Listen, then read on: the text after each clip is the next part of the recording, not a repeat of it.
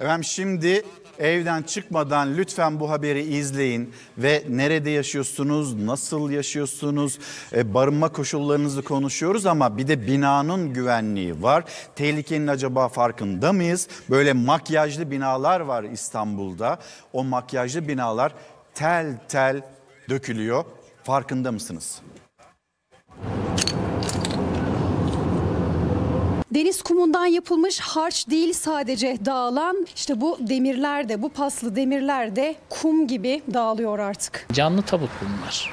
Yani canlı canlı insanlar burada tabutunda yaşıyordu. Deniz kumundan yapılan harç, eriyen demirler, elde un ufak olan taşıyıcı kolon, aralara sıkıştırılmış beton dolu pet şişeler. Bu görüntü büyük depremin adım adım yaklaştığı İstanbul'dan. Bitişiğindeki bina kentsel dönüşüm için yıkılınca ortaya bu korkunç manzara çıktı. Orada bir pet şişe var. var. Onun yanında Bunun yanında tuğla parçaları var. Bu bizim kırdığımız veya zarar verdiğimiz yer olan yer. Bakın burada hiç dokunmadığımız gördüğünüz tuğlalar. bunlar da tuğla parçaları. Aralarına biraz harç koyarak rastgele bir dolgu yapmışlar. İstanbul Kadıköy'de bitişik nizam iki apartmandan biri kentsel dönüşüm için Kiptaş'la anlaştı. Deprem riski bulunan o bina yıkıldı. Mühendisler yandaki binanın deniz kumundan hatta içine beton doldurulmuş pet şişelerden oluşan duvarıyla karşı karşıya kaldı. İstanbul'da pek çok binanın dışı makyajlanmış. Dışarıdan bakılınca böyle yeni bina gibi duruyor ama aslında öyle değil. O makyaj kalktığında korkunç bir e, ülke gerçeği mi diyelim, inşaat gerçeği mi?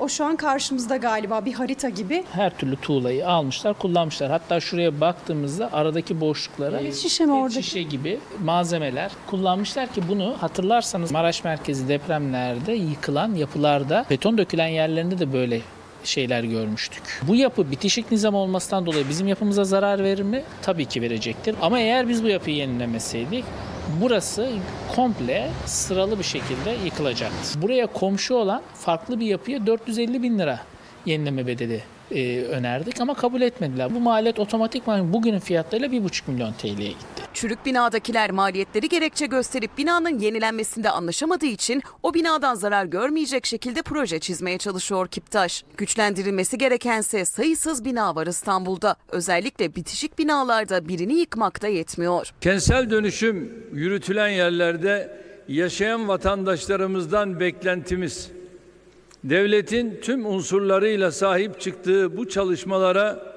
destek vermesidir. İstanbul'daki deprem şurasında kentsel dönüşüme destek istedi Cumhurbaşkanı Erdoğan. Ancak asıl desteği riskli evlerde oturanlar hükümetten bekliyor. Devlet desteği istiyoruz biz. Yoksa hiçbir kimse kentsel dönüşüme gidecek bir şey yok. Bugün 1 milyar para çeksen aylık ödemesi 15-16 bin lira. E, 7500 lira emekli maaşıyla nasıl ödeyecek bu insanlar?